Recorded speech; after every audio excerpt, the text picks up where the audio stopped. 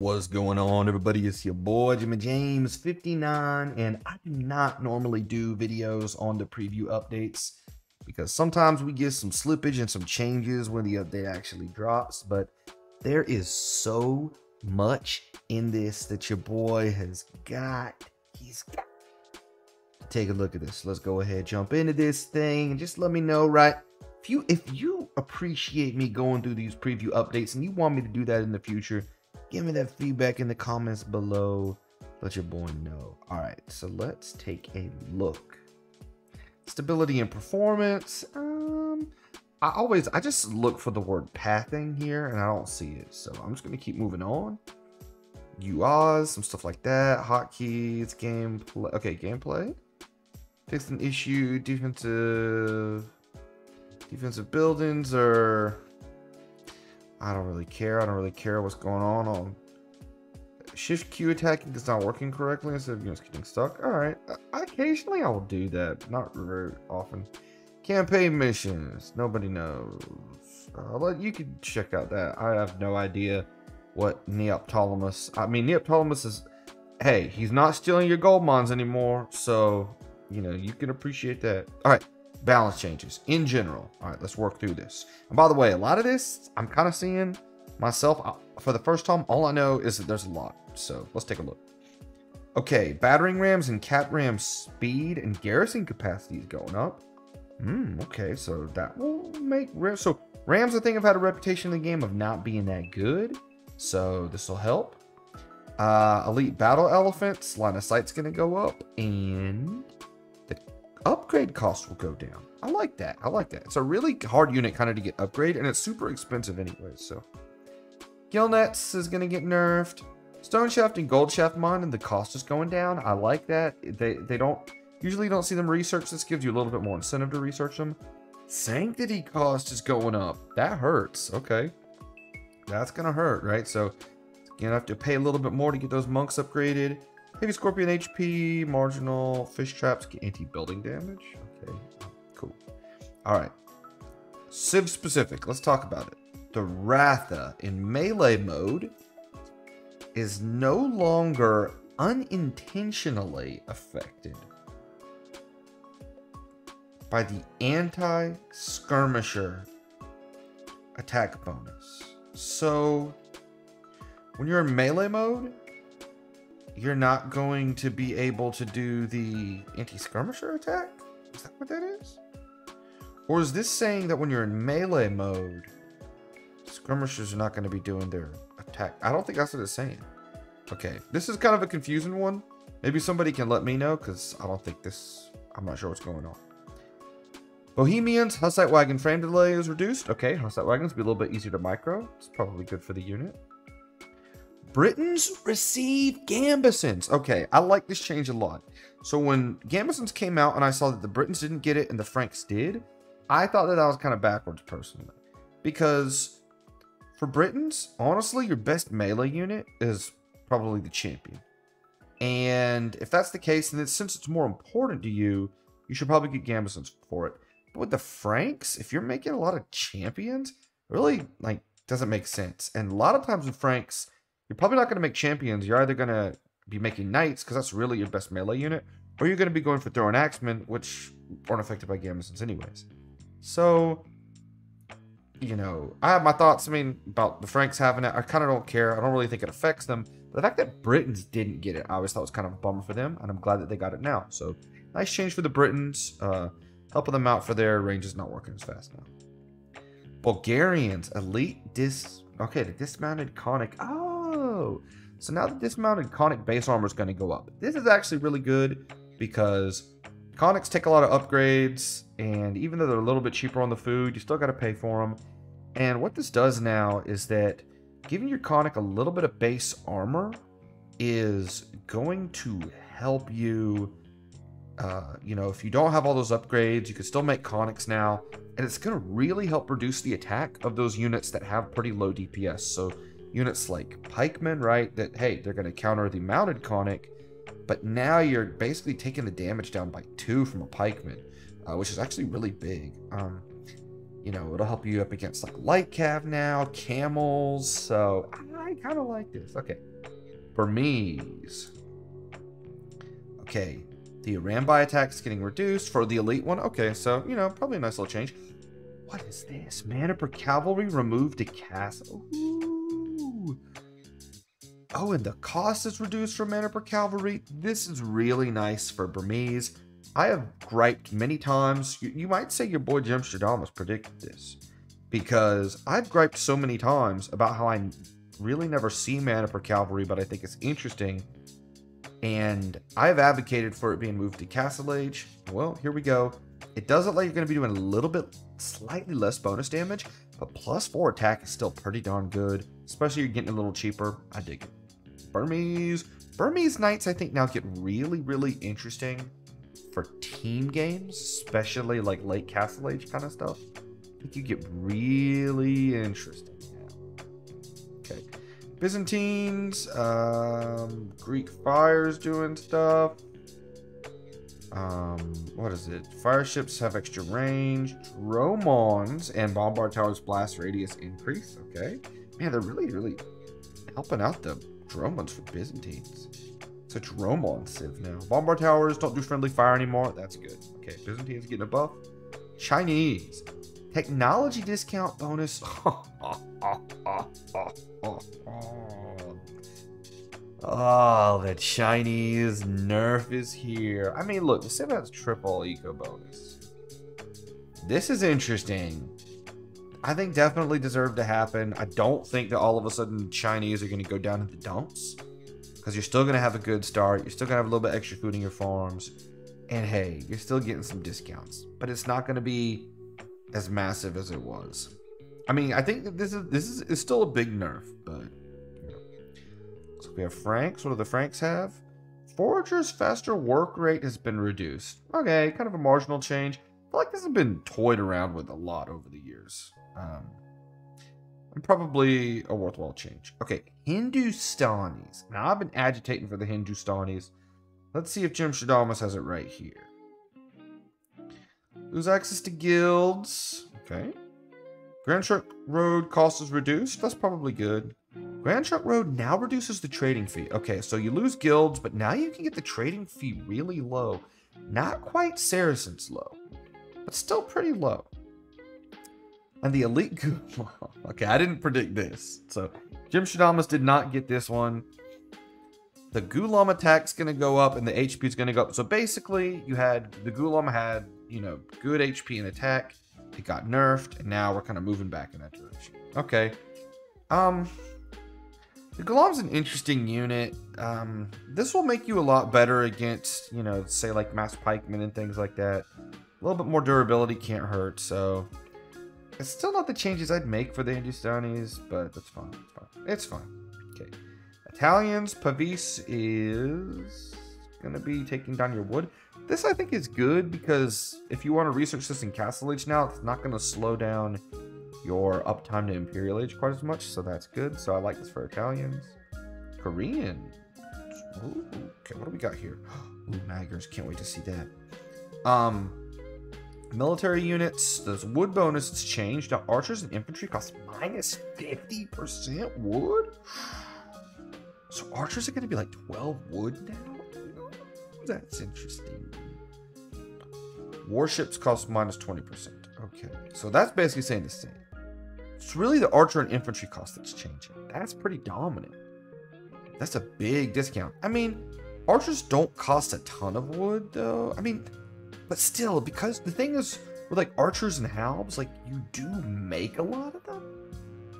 So it really adds up over time. That's an interesting change. Okay. Elite War Wagon is going to be unchanged after the wood discount, so that's fine. No changes there. And turtle ships affected by siege engineers. Okay. What the heck's happening with the Magyars? I... Let's see what this is. Teambo. My baby. I loved this. I, okay. I was the only man in the world who championed this team bonus. This team bonus, rest in peace to it. It has saved me so many times in games where I'd see something right on the edge of the envelope, a line of sight.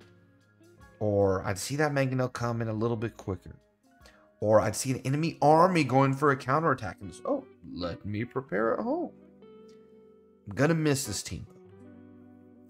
That being said, cavalry archers training 25% faster as a team bonus? First of all, this is really going to help the Magyars' Castle Age. Getting to that good mass of cav archers. I just played a game today that I lost because I couldn't quite get the mass of cav archers that I needed to be able to counter my opponent. I didn't quite have enough.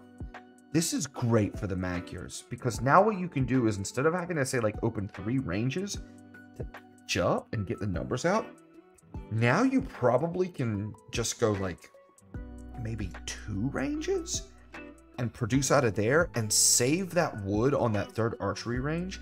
And now you're investing it to cav archers or you're investing it into town centers. I think this makes the Magyars really flexible. And hey, if you want to open three ranges, I mean, you know, I think I think now if you play like an extended feudal age, that becomes really good. That's gonna get you caught up in the cavalry archer numbers. Because remember, you don't have an eco bonus with this civ. So like cavalry archers training faster, it could be a little bit of a red herring at times where you're just like, well, you, you don't have the resources to train them. But if you do say just opt for like a two range play, you can probably keep those ranges running pretty continuously uh, there's going to be a Spirit of the Law video out about this at some point. I think this is a really cool change for the Civ. And then in team games, imagine now if you're, say, like a Tatar flank, right? And it's always been awkward if you have like Tatars or or uh, Huns on the flank for some reason. You're trying to go, you know, like you kind of feel like you have to switch sometime before Imperial Age into Cav Archers. This makes that switch a lot easier. So this is insane. Mac is one of my favorite civs. I love him so much. Dear, a dear civ of mine, and I'm glad to see that. Uh, I'm glad to see a little bit of help to their cav archers because it felt like in Castle Age, I felt like in Castle Age you were not quite there. All right, Malay. What's Malay? Losing access to Gambesons. I like this change. They've been pretty strong. You're already getting free infantry armor. Yeah, that's kind of a lot, I think.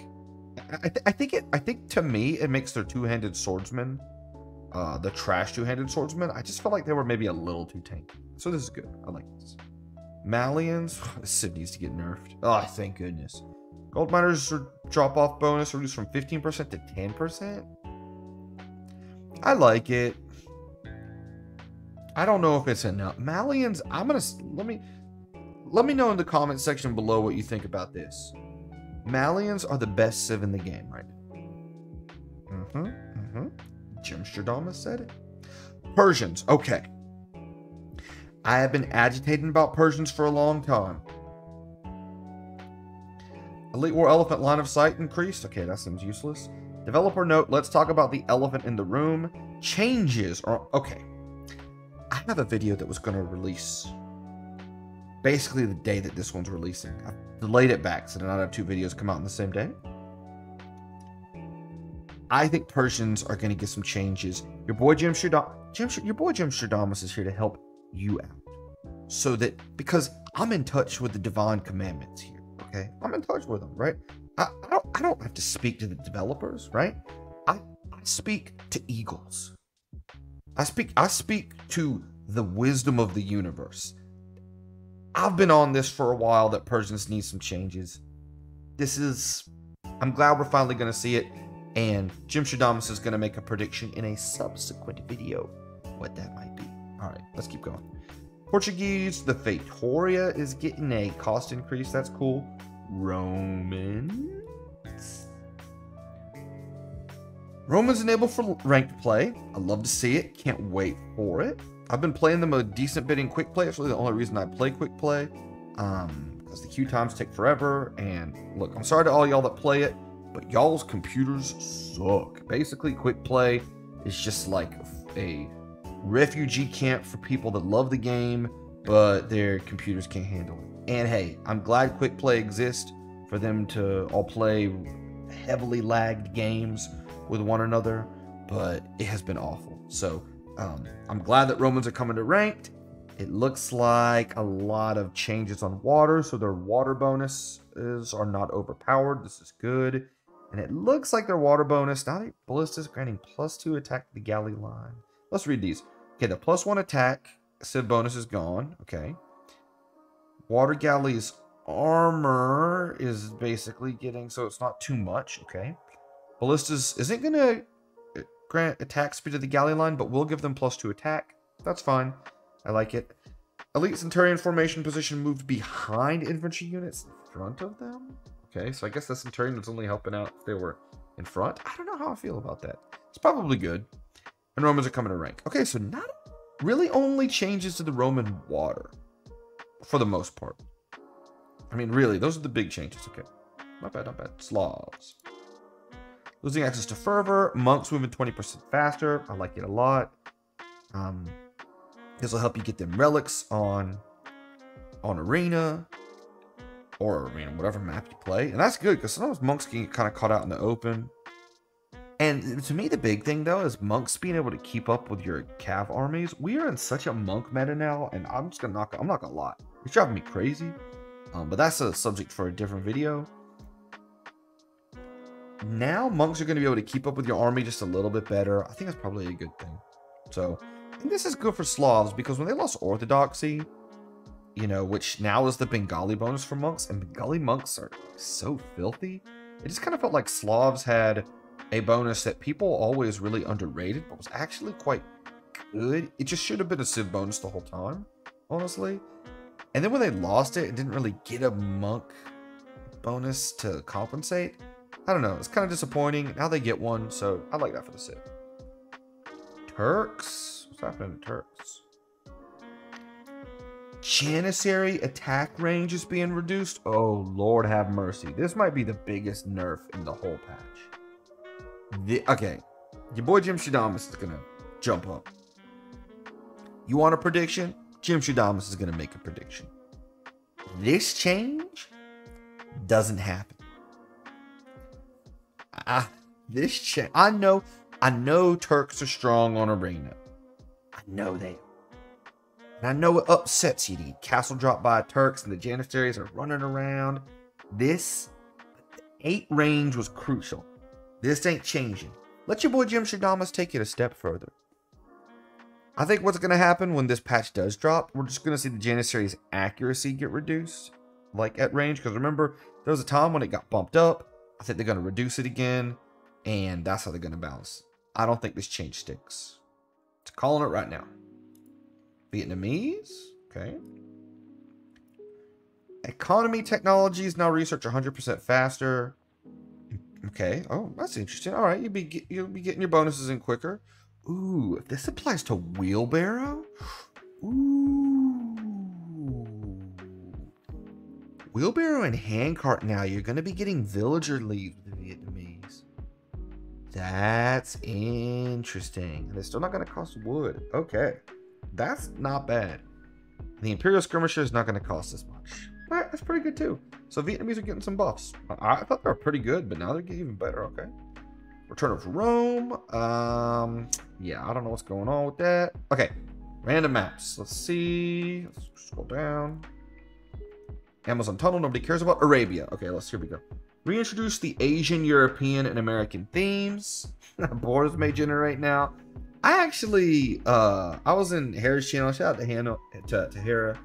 And I asked him what he thought about the build orders being so fast. And when we got out of the Arabia just being elephants and back to boars, if build orders will slow down. And I think they will. Okay. Gazelles now occasionally generate. Pawns are gone. Thank God. These pawns, sometimes you'd have so many pawns. It was ridiculous. The forest generation has been modified to create slightly more open generations. Prey and huntable animals have been... Okay, first of all, you know that I'm Jim Stradamus. I remember the date of the video. May 5th, 2023. I put out a video on my thoughts about the return of Rome because I've been traveling a lot and I didn't get to do any up videos on the updates. And I said in that video, I said, let Jim Stradamus make a prediction in the future. See, this is how you know, this is how you know the devs are watching my channel. Developers, I see you out there. I see you. And you hear me. Okay, you hear me.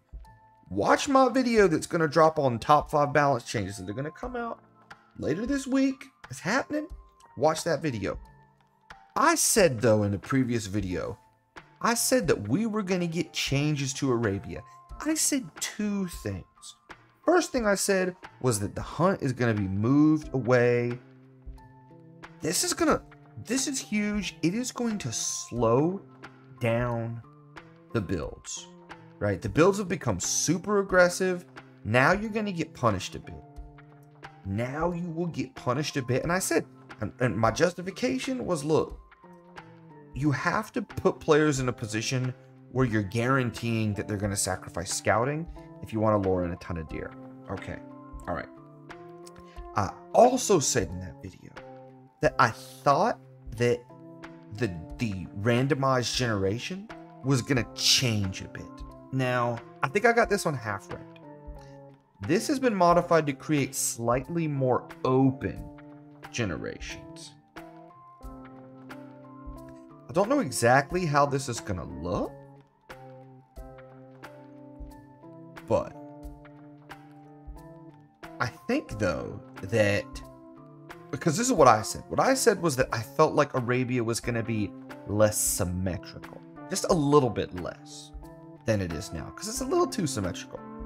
Um, though now with the pawns being removed, I don't think that might not might not matter as much and I do think the fact that now that gazelles are going to be occasionally generating, I don't even know what that's going to, like, instead of deer, in addition to deer, I don't know. But I do think, though, that creating more open generations, I think is going to fulfill the same basic kind of idea that because it's going to be more open, then the symmetry is just going to be off a little bit. So again, I think it's fulfilling the same thing. I'll give myself three quarters, nay, I'll give myself four fifths credit because I'm pretty confident that that's the the implication we're going to see. So again, your boy Jamstradamus makes predictions. Then Michi, uh, okay, yeah, and I, I don't, I'm sorry, Michi is my least favorite map, so, um, well, that's probably not true. There's probably some other maps I hate, I don't play Michi. But hey, explored map visibility, great. I hate it even more now. Now Michi is my least favorite map. Um, lobbies and matchmaking, blah blah blah. Due to long queue times, Empire Wars and Battle Royale modes have been removed from Quick Play. Okay, that's good. I, I didn't even know you could play those on Quick Play. Um, you know, my thoughts about Quick Play have already been uh, put forward in this video. Change the population setting for Return of Rome ranked games to 250. It's, dang, they've been playing on. I didn't even know they've been playing that high. Dang, boy. Um, fix an issue, blah, blah, blah. AI. AI villagers doing some stuff. AI. Well, this is all Return to Rome. Or, oh, no, no, no, it's not. AI researchers. Fix an issue where camps may be placed on bad places. Return of Rome. Scripting. Okay, modding. Mm-hmm, mm-hmm. Okay that's it, man. Wow, that was a lot. Um, what do I think? The big takeaways here: nerfs for the Chinese and Franks. Magyars. Yeah, I think this Magyar change. Let me just scroll down. I just want to see it again. This, I don't think it's gonna change everything. I think this helps out the Magyars so much. And it feels like the Magyars kind of lag behind. I would love to hear what other people think about these changes.